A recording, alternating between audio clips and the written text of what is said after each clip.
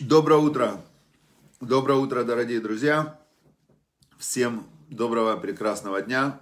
Сегодня мы продолжаем изучать Тору, как каждое утро. С утра надо наполниться божественным светом и узнать о Всевыш... у Всевышнего, что же делать. Что же делать, как жить. Как жить. Сегодня у нас последний день Хануки. Восьмой день Хануки. Это тоже праздник праздник света, праздник именно божественного света. Как раз в этот день, в Хануку, да, 8 свечей, там максимальный свет такой, очень такой важный праздник, который каждый год, самое, обратите внимание, сегодня у нас какое число? 20, сегодня у нас 17 декабря. Обычно Ханука выпадает на самое темное время года, когда ночь самая длинная, а день самый короткий. То есть такое прям темнота-темнота. Говорят, что первый раз Хануку праздновал Адам Решон, первый человек. Он э, видел, что мир, как бы день становится короче, короче, короче, да, ночь такая, длинная ночь. И он думал, что мир исчезает. И потом мир начал подниматься обратно, да, день начал увеличиваться, и он обрадовался. Есть какая-то связь между этими событиями. Хорошо. Значит, мы продолжаем изучать мудрость царя Соломона, мудрейшего из людей. Э, царь Шломо – это сын царя Давида, пророк, который построил первый Иерусалимский храм. Это было место связи с Богом, усиления, усиления вот этого божественного света, максимальное в этом мире. И он сам был э, такой присоединенный к духовной реальности, то есть он получал знания прямо из духовного мира – от Бога, от Создателя мироздания, от Творца мироздания, и он был к нему прям, знаете, у него была точка доступа такая. И он дальше через этот Wi-Fi, он распространял это знание, и до нас дошли три его книги. И вот мы сейчас изучаем одну из них, Мишли, притчи. Значит, мы уже находимся в 28 главе. И сегодня у нас, а, значит, сегодня у нас 18 а, отрывок 28 главы, в котором царь Соломон нам говорит следующую вещь. Говорит он нам так. Улех тамим и вашеа венеикаш драхим и поль баехат. Дословно это переводится так. Олех тамим, тот, кто идет э, непорочно. Тамим это вот по, просто, непорочно, просто, да. Тот, кто идет просто, будет спасен. Венеикаш драхим, тот, кто искривляет свои пути, тот, кто петляет. И поль баехат, он упадет на одном дословно переводится «упадет на одном». Значит, что имеется в виду? Вот, когда используется слово «драхим», значит, используется следующая вещь. Если у каждого человека, человек же ходит вообще по жизни, по, руководимый своими качествами характера. Например, например, есть человек, он э, быстрый, да, то есть он, его по жизни ведет быстрота, он быстро решает, он такой энергичный, быстрый, давай, давай, все. Другой человек, он ленивый. Получается, что его по жизни ведет его лень. Он тут не доделал, там не доделал, тут проспал, здесь проспал. Вот это его качество. Например, быстрый, ленивый. Есть другая, например, давайте посмотрим. Есть человек э, гордый такой, да, гордый, уверенный, а есть скромный. Значит, гордо уверенно он всегда, кто на хлебзавод? Я. Кто сможет? Я. Кто сможет? Я. Он все время у него я. Его его гордость ведет по жизни и куда-то она его приводит. Другой скромный. Кто это может? Не, у меня, наверное, не получится. А это кто может? Да не, ну кто, только не я. Понятно, да? То есть получается, что есть качества характера, которые ведут человека по жизни. Или возьмем еще, например, один жадный, он э, все время все хочет сэкономить, сэкономить. Я недавно разговаривал с одной своей клиенткой, и вот мы разговаривали о, о бизнесе, о стратегии развития бизнеса. И она говорит, вот ты знаешь, говорит, я теперь поняла свой тормоз основной, да? Я, говорит, для того, чтобы сэкономить на бензине, поехала по гололеду на Тесле с летней резиной. И получается, что я из-за того, что я поехала на Тесле, на ну, электрическая, с летней резиной, я чуть не разбилась вообще насмерть. Но хотела сэкономить. Понятная идея, да? Есть люди, которые смотрят на мир сквозь, сквозь призму экономности, да, экономность, переходящая в жадность. Есть люди, которые, наоборот, расточительные, на, всем бери, пожалуйста, все, что у меня есть, забирай, все твое. Теперь в итоге, в итоге, что мы видим? Что есть две крайности. А кто такой э, Олег Тамим? Кто такой идущий непорочно? Это тот, кто идет по золотой середине.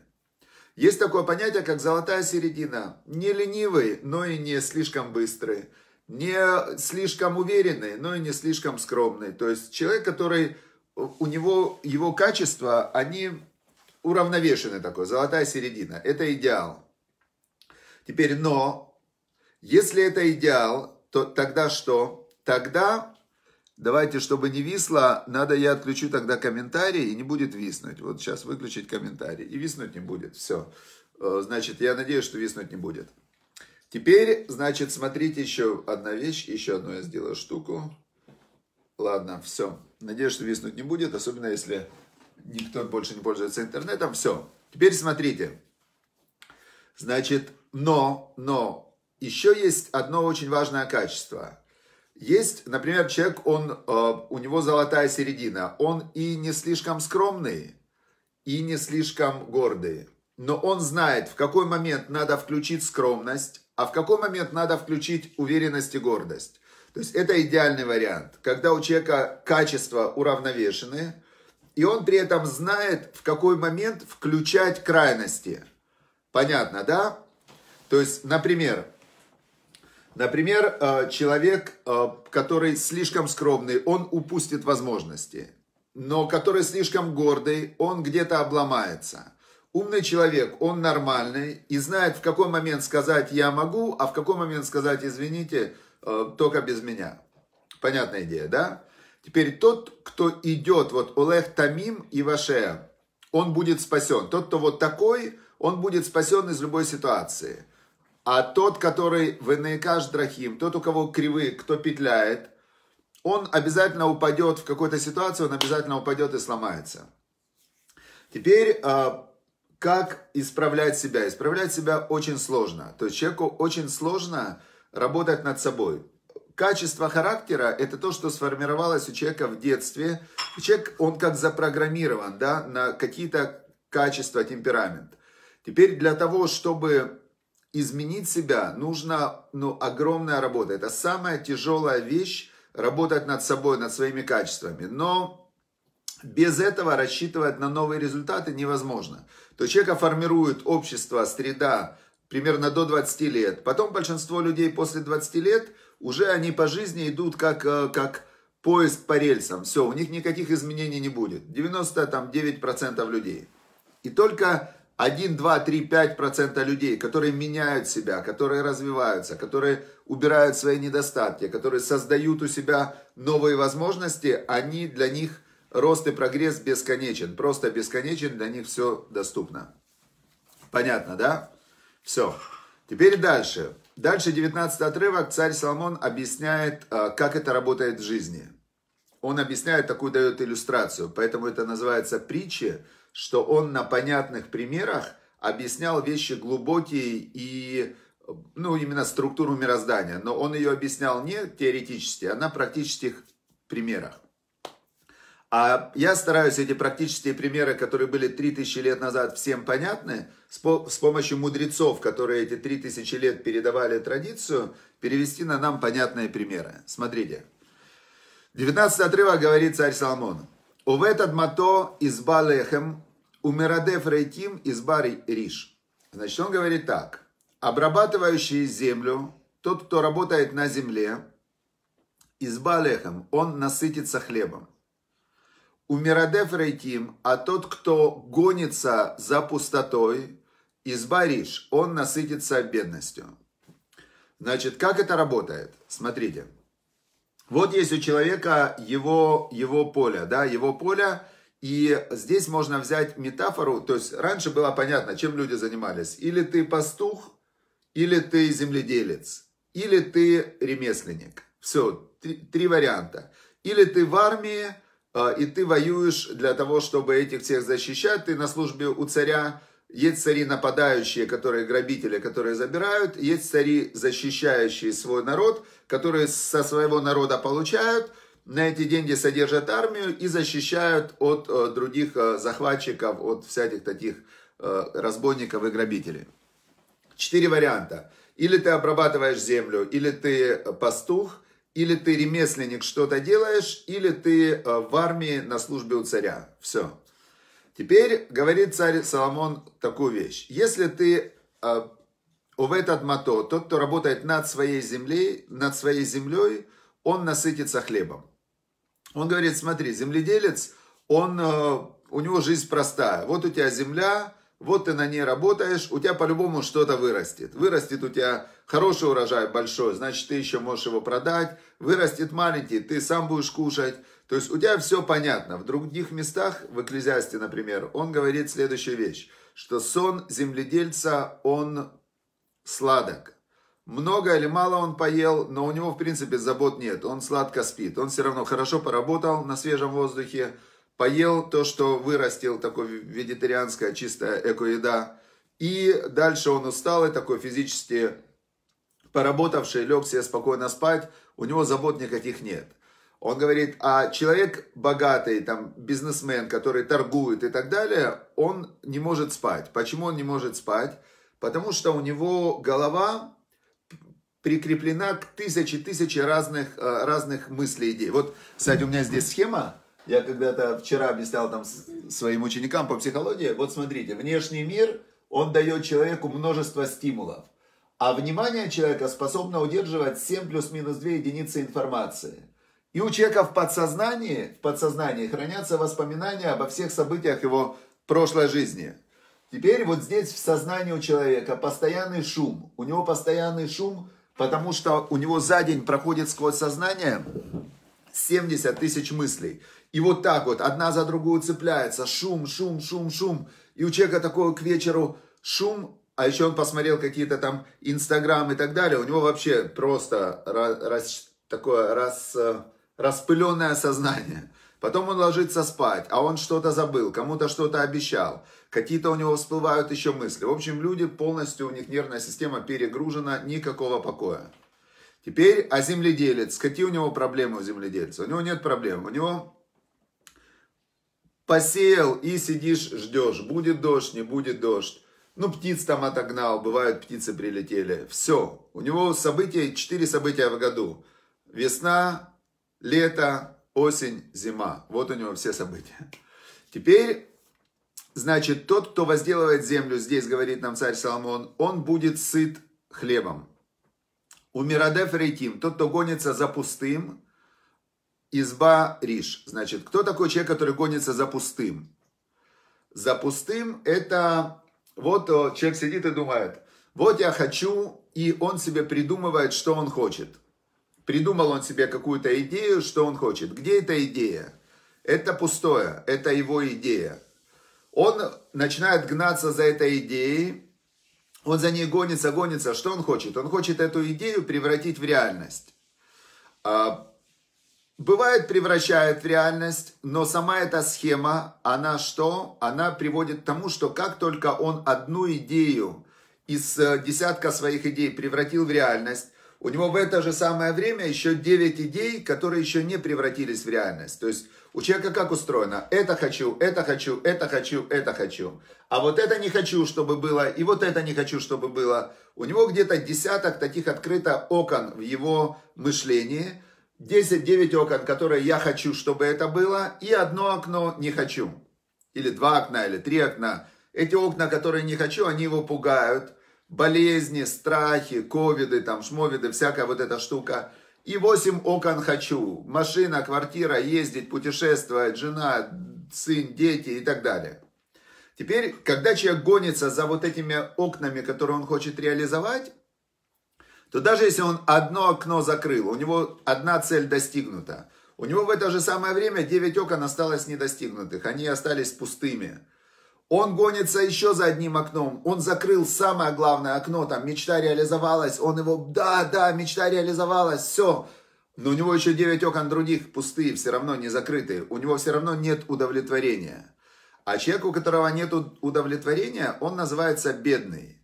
Бедный – это тот, которому не хватает. И если у человека 9 окон пустых, они не закрыты, и одно даже окно достигнуто, даже самое большое, то все равно он бедный. Он остается бедным в любом случае. Поэтому говорит еще раз, давайте 19 отрывок вернемся, говорит царь Соломон. Увет адмато из балехом. Тот, кто обрабатывает землю, да, то есть у него вот она одна картинка, вот у него одно поле, одна земля. Он насытится хлебом. И в принципе, вот этот вот уровень физической удовлетворенности у человека на сегодня, у большинства людей, даже самых необеспеченных, самых э, необеспеченных, вот люди, которые, ну вот, реально живут там, пенсионеры даже, да, у них на физическом уровне, на физиологическом уровне, у них, э, у них, э, они сыты, слава Богу. То есть очень жалко тех людей, которые голодные, но в современном обществе мы живем в очень э, такое время, ну, относительно всей истории человечества, мы живем во время без голода. То есть раньше, еще там 50-70 лет назад, люди реально голодали, страхи были вообще, умирали там, прямо миллионами умирали от голода. В наше время даже самый пенсионер необеспеченный в странах бывшего Советского Союза имеет возможность купить гречку, хлеб, там, ну, он сытый, он от голода не умирает. Теперь говорит царь Соломон, тогда нам становится понятно. Тот, кто обрабатывает землю, он насытится хлебом. Но тот, кто гонится за пустым, а что такое пустое? Пустое – это иллюзии. Это иллюзии, которые человек придумывает, это хочу, это хочу, это хочу, он насытится бедностью. Всегда он будет бедный, никогда он не будет я помню один мой очень богатый знакомый, очень богатый относительно, относительно ну, среднего уровня людей, он очень богатый, мультимиллионер. И он говорит, вот ты знаешь, у меня такая жизнь сложная, вообще дико сложная у меня жизнь. Почему у меня дико сложная жизнь? Потому что я вот всегда, у меня три раза повторяется одна и та же история. Вот я дохожу до 10 миллионов долларов, а потом хочу двигаться дальше – и теряю. И опять я начинаю заново, опять дохожу до 10, хочу перейти там на 50, на 100 миллионов долларов, и опять теряю, и опять, ну, он все время остается миллионер, но никак не может перейти там на 50-100 миллионов долларов. И он говорит, ну, и вот ты знаешь, говорит, одно из моих самых главных разочарований в жизни было, когда я купил себе яхту. Я мечтал, как у многих людей, у них э, вот это вот, знаете, как картинки, которые нам дает э, глянцевые журналы, что богатство ассоциируется обязательно с домом на море и с яхтой. И поэтому люди, о чем они мечтают? Человек, который мечтает разбогатеть, он не мечтает о деньгах, он мечтает о доме возле моря и о яхте. И он говорит, я купил себе яхту, когда разбогател, купил яхту, и э, вот я в этой яхте, значит, плыву я на этой яхте, приплываю в место, куда все приплывают на яхтах, ну, то есть это как бы, им уже дают раскладочку, раскраску, раскраску, да, те, кто богатеют, они уже знают, что покупать. Есть целая индустрия, есть такой умный человек, Арно его зовут, Арно, он в тройке самых богатых людей мира, который владеет вот этими всеми luxury брендами. И он в год тратит э, порядка, наверное, 90 миллиардов долларов на рекламу, для того, чтобы продавать ту идею, что должны покупать люди, когда у них появляются лишние деньги. И вот э, там все продумано. У них есть специальные журналы, ты только за, разбогател, тебе показывают, ты должен купить это, это, или ты лох. И вот они все идут по вот этой вот схеме. Значит, он говорит, я приплываю на яхте в, в туда, куда должны приплывать на яхте. Есть Монако, по-моему, Монте-Карло, вот такие вот места. Он говорит, я приплываю туда, и, значит, э, сижу и думаю, ну вот моя мечта сбылась. Вот сбылась моя мечта. Сел такой на палубе, в креслице с сигарой. Сижу, кайфую, говорит, вот смотрю на берег. И тут меня накрывает тень. Накрывает меня тень такая, солнце закрывается, накрывает тень, и я поднимаю голову, смотрю, а рядом яхта такая из яхт-яхт. Знаете, есть такие яхты-яхты по 150 метров. А у него яхта какая-нибудь там 30 метров, может 40 метров. Малепусенькая лодочка относительно яхты-яхты. И вот эта яхта-яхта, большая такая шестипалубная, она закрывает от меня солнце. И стоят на борту две девушки легкого поведения такие и смеются надо мной, просто ухахатываются. Вот смотрят на меня вот так сверху и смеются.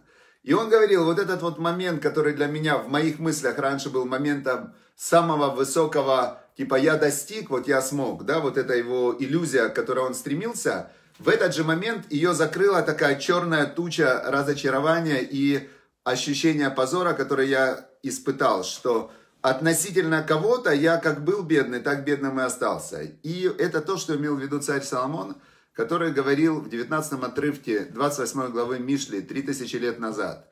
Тот, кто обрабатывает землю, насытится хлебом. Он будет сытый и спокойный. Но тот, кто гонится за пустым, он всегда будет бедным.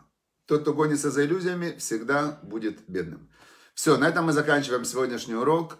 Человек должен уметь управлять счастье, оно внутри. И тот, кто умеет управлять своими качествами, своим мышлением, своим внутренним миром, тот, кто в 18 отрывке написано «идет непорочно», он спасен будет, он пройдет этот жизненный путь хорошо, и с Божьей помощью у него будет вечная жизнь. Вот там будет вечное удовольствие, без зависти, без негативных разных вещей, а будет наслаждение, сияние истины и связи со Всевышним. Все, желаю всем божественного света, чтобы вот именно знание о добре, о Боге, оно наполнило ваши жизни и осветило путь.